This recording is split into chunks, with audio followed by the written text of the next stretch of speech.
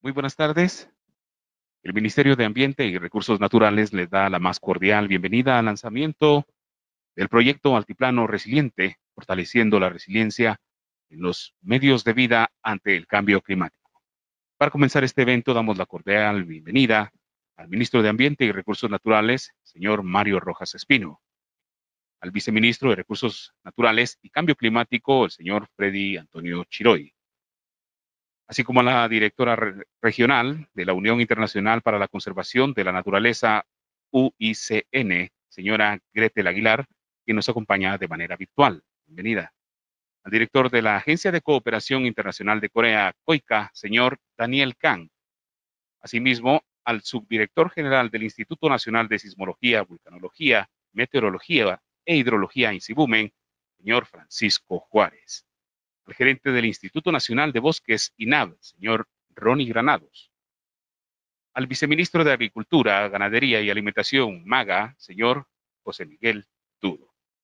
También damos la bienvenida a las autoridades de gobierno y representantes de las distintas instituciones y sectores de la sociedad guatemalteca que nos acompañan, distinguidos amigos, público en general que nos acompaña en línea, así como a los distintos medios de comunicación también que están con nosotros conectados, y a todos sean bienvenidos. Para comenzar el evento, conoceremos el contexto y antecedentes del proyecto a cargo del ingeniero Freddy Antonio Chiroy Barreno, viceministro de Recursos Naturales y Cambio Climático del Ministerio de Ambiente y Recursos Naturales. Bienvenido. buenas tardes, señor ministro Mario Rojas, señores funcionarios de las instituciones públicas que nos acompañan, Ministerio de Agricultura, Ganadería y Alimentación MAGA, INSIBUMEN, Instituto Nacional de Bosques y COICA. Sean bienvenidos el día de hoy a este, esta es la presentación y lanzamiento del proyecto Fortalecimiento de la Resiliencia de los Medios de Vida ante el Cambio Climático en las cuencas altas del Altiplano de Guatemala, o como comúnmente le estamos denominando, el proyecto Altiplano Resiliente. Es para mí un gusto eh, indicar que este es el primer proyecto del Fondo Verde del Clima el cual se ejecutará en Guatemala y que va a ser liderado por el Ministerio de Recursos Naturales bajo el liderazgo del ministro Mario Rojas Espín. Eh, vamos a hacer una presentación, la cual eh, nosotros tenemos incidencia en las tres vertientes, como lo son la vertiente del Pacífico, el Atlántico y la del Caribe. Como sabrán, Guatemala es un país el cual actualmente se posiciona entre los más vulnerables ante los efectos del cambio climático, posicionándose en el cuarto lugar.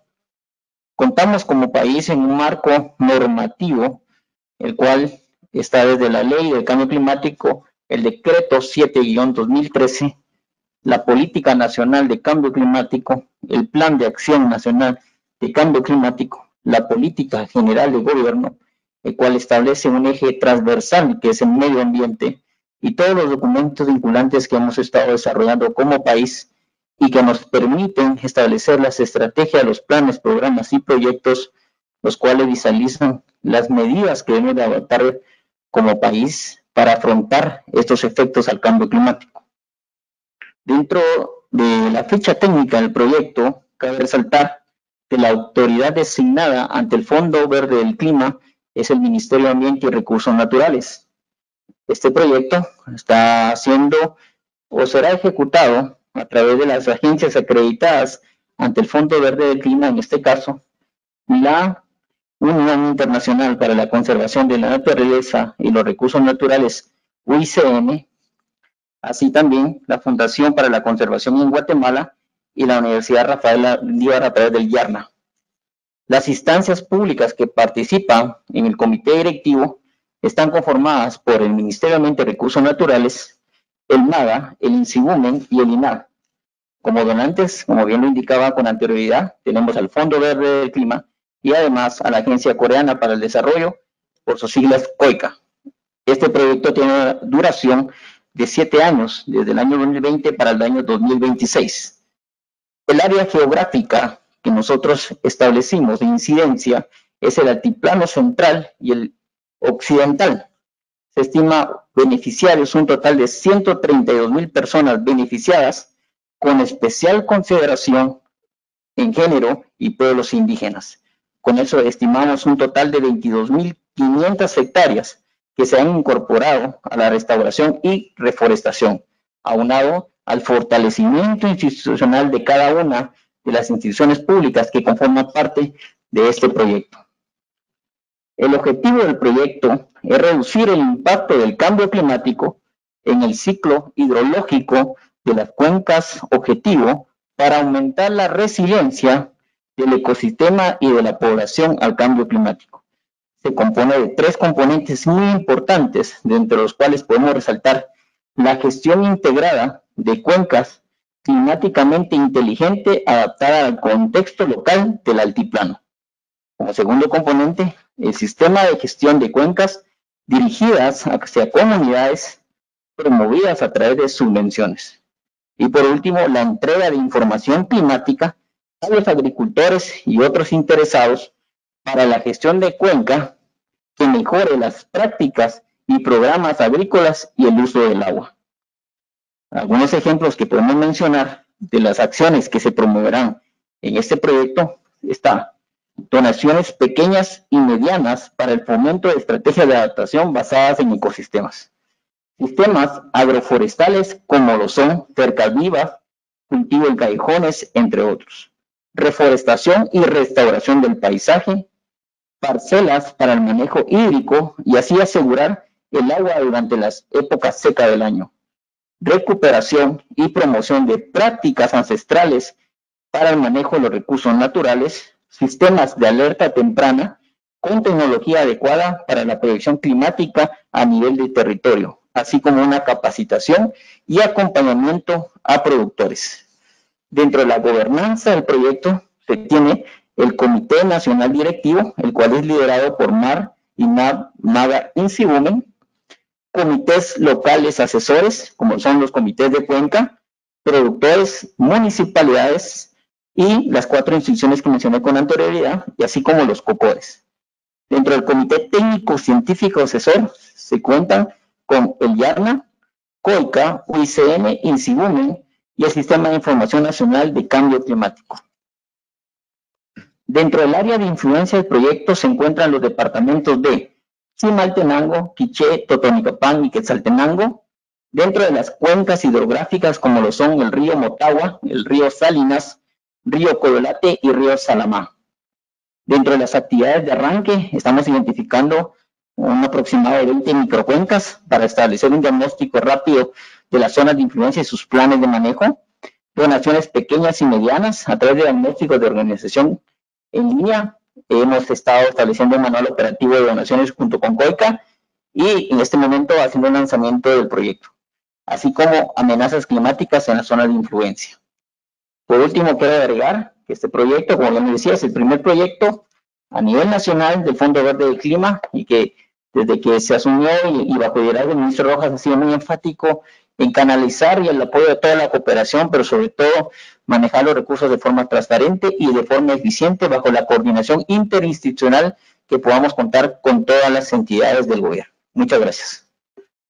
En este momento procederemos a escuchar a los integrantes del comité directivo, por lo que cedo la palabra a la doctora Gretel Aguilar, directora regional de la Unión Internacional para la Conservación de la Naturaleza, UICN, quien nos acompaña en línea. Bienvenida. Buenas tardes.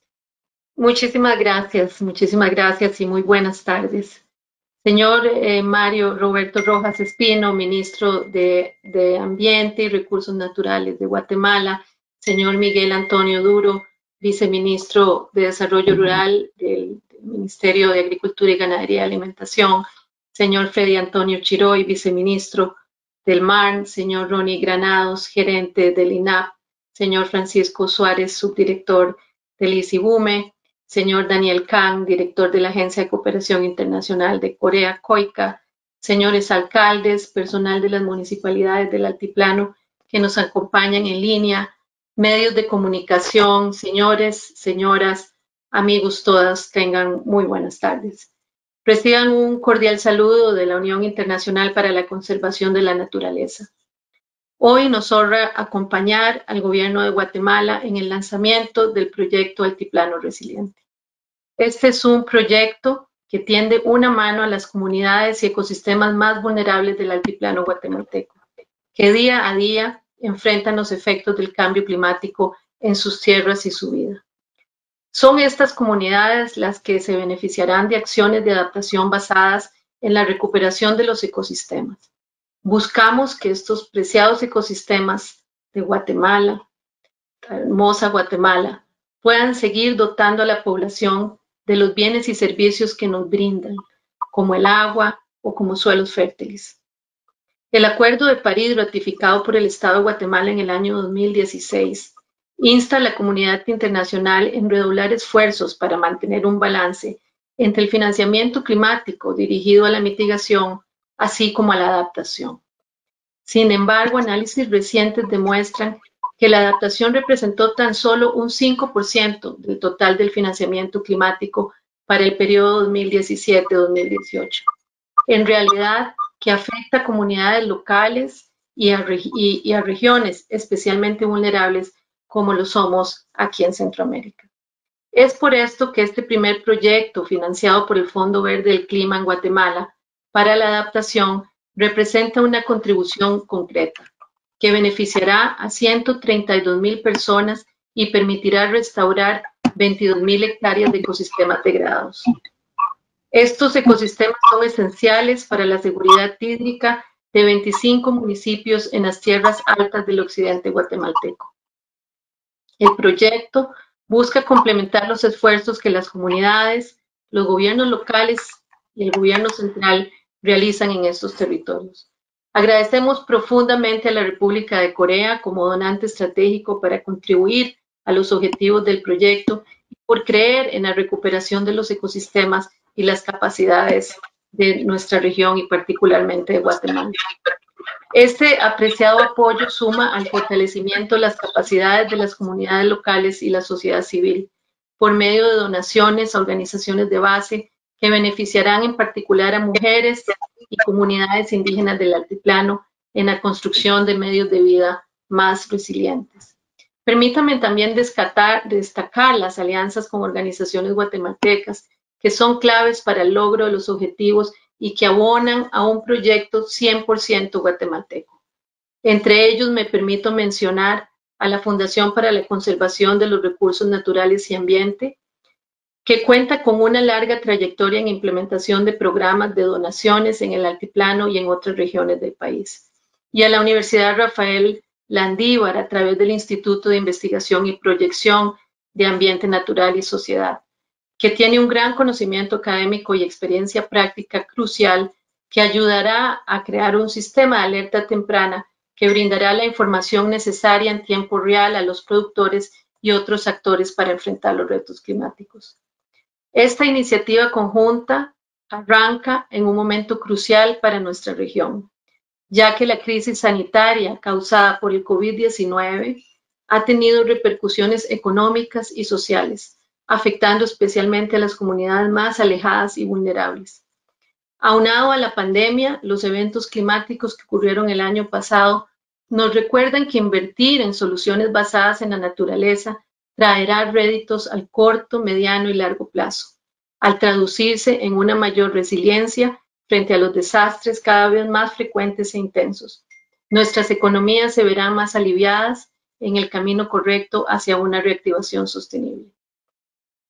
Agradecemos muy, muy especialmente al gobierno de Guatemala por la confianza en UICN como agencia acreditada ante el Fondo Verde del Clima, a la vez que lo felicitamos junto con las comunidades y gobiernos locales por esta decisiva acción climática que contribuye a metas globales de bienestar para el planeta y las personas.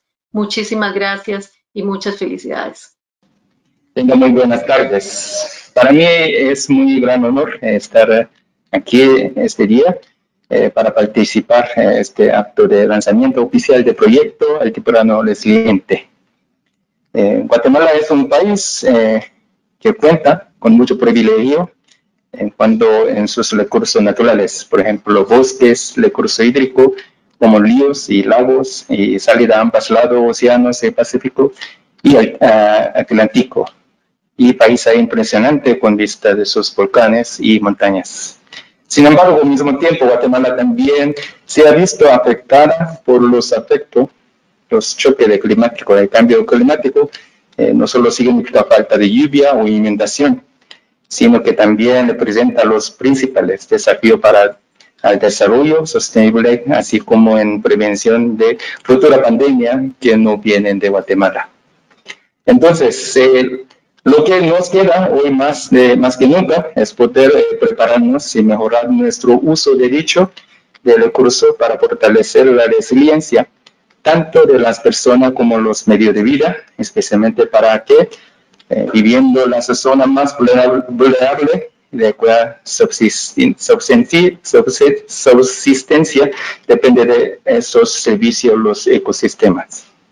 El gobierno de la República de Corea, a través de COICA, habiendo tomado eh, alianza para implementación de nueva forma de cooperación con otra eh, organización, organización internacional para crear sinergia y potenciar, eh, potencializar la misión de COICA, la cual no dejan a nadie atrás. De manera que COICA está totalmente comprometida con apoyo a Guatemala, quienes ya poseen vasta experiencia, incluida aquel de campo en territorio de guatemaltecos. El proyecto atendrá a 132 mil beneficiarios directos, con especial de énfasis en género y pueblo indígenas, eh, distribuido y las microcuencas seleccionadas en 33 municipios. Asimismo, un total de 22.500 hectáreas serán incorporadas eh, los sistemas de agroforestal, deforestación y eh, la exploración de suelo y de cuenca, lo cual, lo cual eh, de contribuye asimismo a la meta se tiene como país la recuperación de 1.2 millones de hectáreas de bosque para hacia 2037. Este proyecto también tiene un componente muy especial, que es la dotación de pequeña donación para directa de organización de base de primer nivel para que puedan desarrollar proyectos de adaptación basada en ecosistemas de diversificación de productiva de resiliencia. La primera convocatoria de esta pequeña donación eh, para acceder este, eh, fue lanzada de final de eh, año pasado. Se espera iniciar actividades, los proyectos que resultan electos en segundo trimestre de este año 2021. COICA también contribuirá con suma experiencia por medio del envío de expertos de coreanos. Al final, eh, los desafíos de este país pueden abordarse eh, como oportunidades. Guatemala, de hecho, ya reconocida a nivel mundial eh, por tener liderazgo cada vez mayor en la forma como está abordar, abordando de acción de climática. reconocemos que la trata no es fácil, eh, que, eh, que conjunta de compromisos que tenemos se podrán atender si y solo si eh, se cuenta con una amplia colaboración y trabajo conjunto. Por, por ello, también agradecer tanto al Ministerio de Medio Ambiente y MADA y INAP, INSIBUME y otro eh, y parte del, gobierno y también eh, nuestro de compañero de UICN eh, por la suma de esfuerzo, la serie de programas que ya están implementando en país. felicitamos a las personas y a Guatemala por este proyecto, porque llegue a este punto significa que muchas personas ya han puesto y su empeño y planificar y llevar a cabo las secciones que implementarán. Les pedimos que continúen ayudándose eh, para que este proyecto llegue a buen puerto y sea muy exitoso en los hemos propuesto. Agradezco otra vez más eh, para todas las personas que participan aquí y también de participar de forma virtual de este espacio, eh, esperando tener otro buena reunión eh, para el futuro pronto. Muchas gracias. Escuchamos al señor Daniel Kang. Es momento de escuchar al señor Francisco Juárez, subdirector general del INSIBUMEN. Bienvenido. Eh, gracias, primero que nada. Eh, muy buenas tardes, señor ministro de Ambiente, eh, Mario Rojas. Un gusto. también al señor viceministro Rey Chirón, al señor viceministro del MADA, José Duro, también al representante bueno, el director de COICA, Daniel Kahn, mucho gusto, al licenciado, al ingeniero perdón, Granados del INAV, también a la doctora Gretel Aguilar eh, de UICL eh, por eh, formar prácticamente este proyecto, incluido INSIUME, como ente científico asesor de, del país. Prácticamente INSIUME tiene una incidencia en todos estos temas que son de origen natural, no digamos así, todas estas variaciones que son referentes y basadas en el cambio climático eh, para nosotros, eh, es, es, un área que acaba de nacer. Nosotros eh, estamos fortaleciendo todas estas capacidades que tenemos en cuanto a generar modelos que nos puedan eh, indicar el camino, cuál es el que debemos seguir y abordar todos estos temas en cuanto a la parte eh, no solo de agricultura, sino que realmente de la influencia que tiene todo este cambio climático a la vida de las poblaciones que se encuentran en las distintas áreas de, eh, Guatemala. Es por ello que en Isibume estamos eh, satisfechos con los objetivos de este proyecto, puesto que buscan la prevención de ciertos desastres naturales, naturales provocados por los eh, por los desastres naturales y los fenómenos meteorológicos que ya son habituales en nuestra región, así como de otros provocados por el incesante cambio climático, los cuales son más difíciles de prever debido a su naturaleza variante y dependiente de nuestra misma economía e industria. Tal motivo, es a través del fortalecimiento de varias instituciones claves, como lo, eh, estamos acá en este momento, en este caso el Ministerio de Ambiente y Recursos Naturales, el Ministerio de, Ganadería y Agricultura, AMADA, el Instituto Nacional de Bosques, que es el INAR, y nosotros como INSIUME, con esto eh, sabemos que se podrá alcanzar una adaptación al cambio climático, la cual eh, busca que sea constante y eficaz con la finalidad de proteger nuestra economía, pero sobre todo la vida humana de cada guatemalteco. Es por ello que parte de ICIUME estamos muy agradecidos por ser tomados, eh, ser parte de este proyecto. Sabemos de que es un proyecto que va a llevar un tiempo prolongado, en este caso son siete años, de parte de Visión, tratar la forma de, fortalecer todas las capacidades que estén de, de nuestras manos y poder brindar todo aquel apoyo para que podamos eh, sacar adelante este proyecto. Muchas gracias.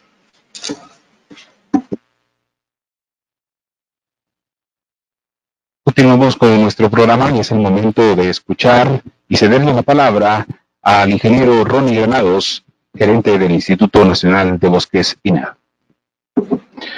Buenas tardes, licenciado Mario Rojas Espino, ministro de, Ambiente y Recursos eh, Naturales, ingeniero José Miguel Duro, viceministro de Desarrollo Económico y Rural del, del MAGA, viceministro Freddy Chiboy de Ambiente,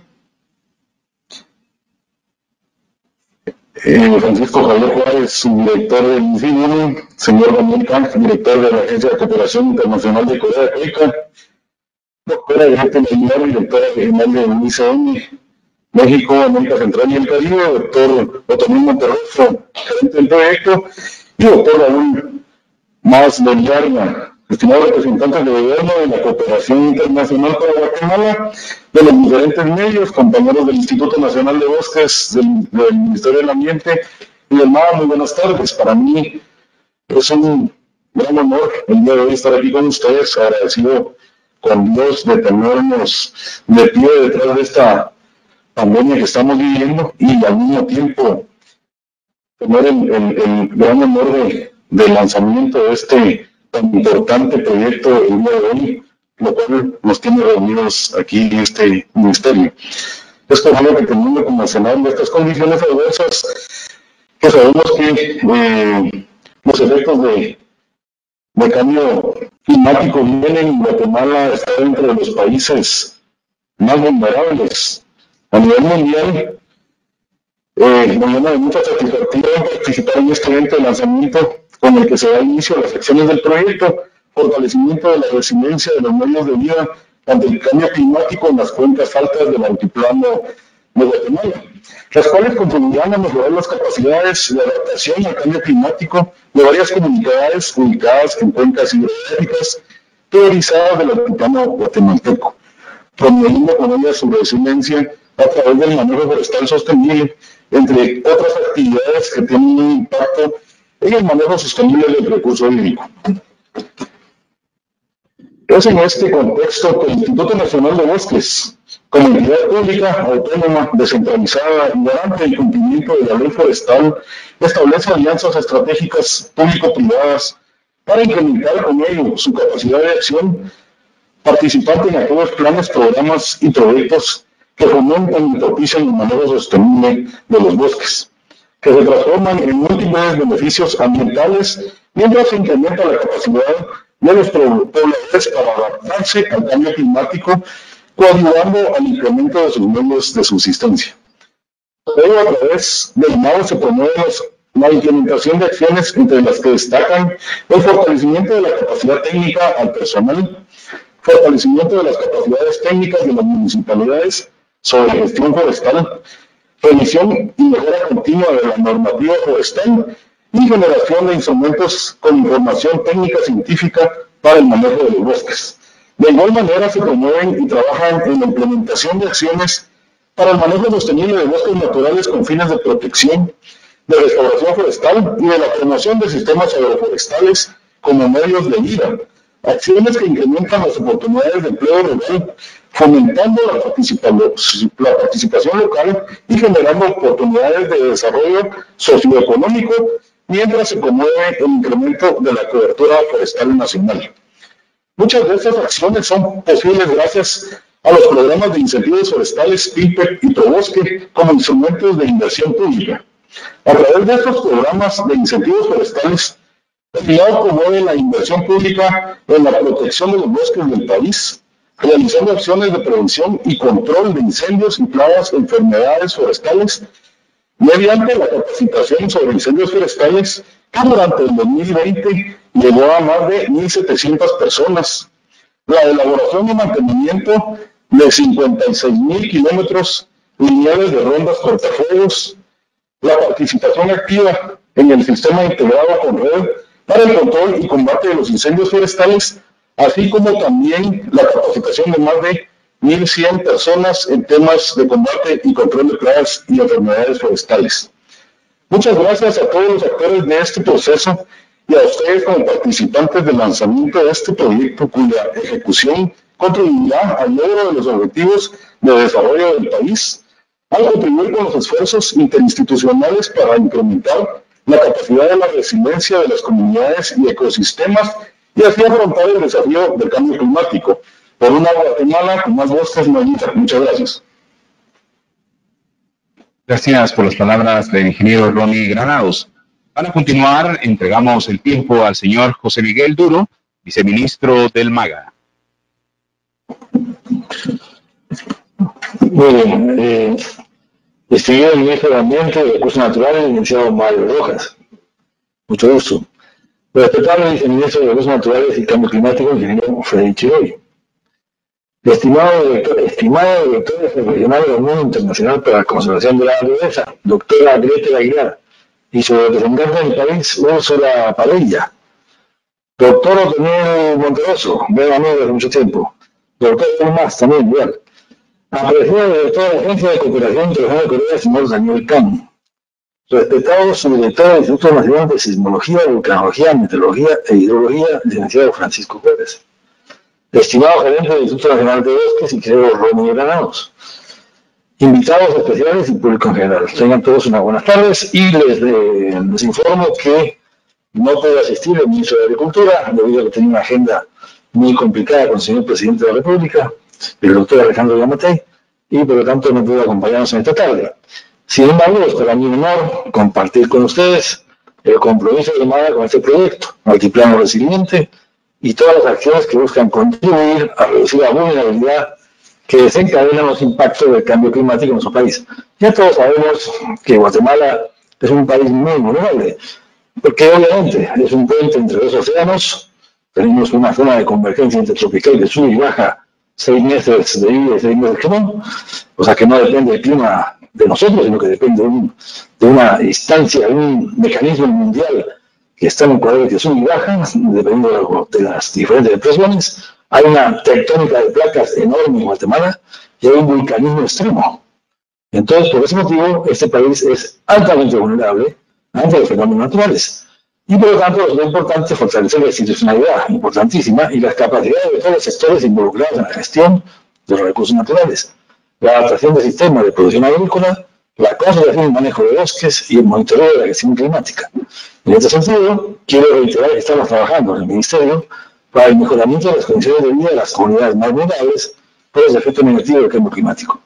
Esto a través del acompañamiento que nuestros extensionistas brindan a las familias agricultoras de las áreas vulnerables sobre mejores prácticas para el uso y manejo sostenible del ambiente, los recursos naturales y la valorización del patrimonio natural. La asistencia ha logrado avances en la reducción de emisiones de gases de efecto invernadero con un objetivo principal, que es garantizar la seguridad de la población matemática frente a la vulnerabilidad ambiental ya citada. Es un hecho que la coordinación interinstitucional entre el MAGA, Ministerio de Ambiente, INAP y la cooperación internacional han permitido robustecer las capacidades de respuesta en materia de reforestación, sistemas agroforestales y manejo de bosque natural, así como la importancia de multiplicar la concientización para reducir esta fragilidad a través de la residencia comunitaria. En este sentido, planificar e implementar planes y estrategias de adaptación al cambio climático son fundamentales para desarrollar una agricultura resiliente y contribuir a la seguridad alimentaria y el derecho alimentario de la población. Eh, nosotros en el MAGA estamos fomentando diversas, eh, diversos proyectos que son concomitantes con este. Por ejemplo, estamos fomentando diseños ideológicos, lo cual va a permitir que se haga una cosecha de agua y el, el que está en el suelo, en el aire, puede ser colocado en el suelo. Y a su vez eh, estamos haciendo estudios de suelos, eh, vamos a empezar este año otra vez a generar esto, vamos a empezar a hacer estudios de suelos a nivel detallado, porque consideramos que el suelo es un sistema básico para la vida, para combatir y mitigar los desafíos de nuestro tiempo, asegurar y promover la seguridad alimentaria, gestionar oportunamente los recursos naturales a través de políticas públicas efectivas y el uso de prácticas agrícolas sostenibles. Por lo tanto, en el MAR estamos muy contentos que se haya iniciado este proyecto, vamos a colaborar con ustedes y yo deseo a todos eh, mucha suerte en este proyecto que dura siete años y espero que tenga los resultados planificados. Muchas gracias. Gracias por las palabras del señor José Miguel Duro. En este momento escucharemos el discurso del ministro de Ambiente y Recursos Naturales, el licenciado Mario Roberto Rojas Espín. Bienvenido. Muy buenas tardes a todos. Hago propio el vocativo de mis antecesores. Extendemos una eh, especial bienvenida y un agradecimiento a todas las personas que nos acompañan en línea, a la distinguida directora regional de Unión Internacional para la Conservación de la Naturaleza, UICN, la señora Gretel Aguilar, a quien yo creo que no está de más extender una felicitación extra por su reciente nombramiento como directora general adjunta en Suiza de UICN. Esto después de una carrera de 15 años de brillante desempeño en la región. Autoridades locales de los municipios de las cuencas altas del altiplano de Guatemala, representantes de organizaciones no gubernamentales y cooperativas locales, directivos de la Fundación para la Conservación de los Recursos Naturales y Ambiente de Guatemala,